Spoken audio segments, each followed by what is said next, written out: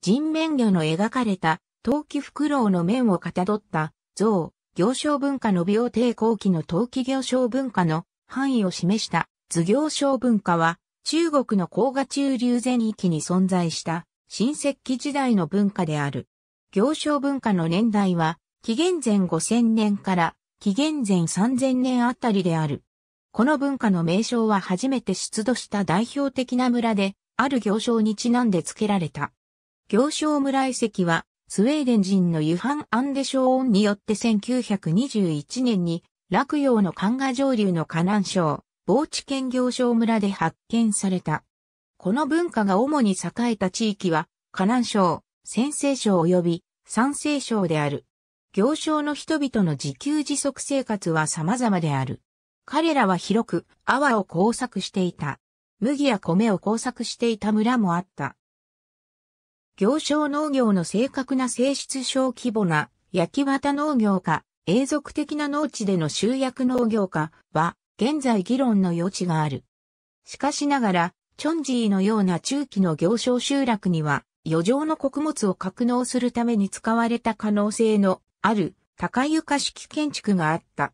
彼らは豚や犬、その他羊、ヤギ、及び牛などの動物を飼っていたが、食用の肉の大部分は狩猟や漁業で得ていた。彼らの石器は研磨されており、非常に専門化されていた。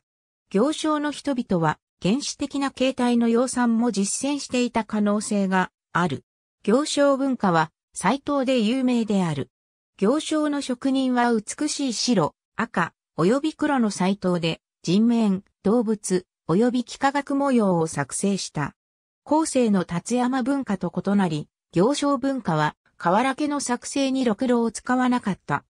発掘調査により、子供たちが、西門緑の亀に埋葬されていたことが判明した。西安に近い半端村の考古学遺跡、半端遺跡は、行商文化の最も有名な看護集落の一つである。西安、林道区の共祭と呼ばれるもう一つの主要な集落遺跡がその境界に発掘され、考古学者たちはこれらの集落が完全に環合で取り囲まれていたことを確認した。これらの遺跡からは、半端文字と呼ばれる文字に近い記号も発見されている。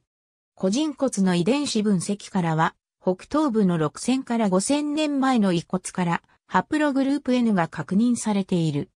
ハプログループ N は、量が文明人に高頻度で観察される、ウラル系民族のタイプであり、行商文化北東部では隣接する両河文明からの影響があったことが伺える。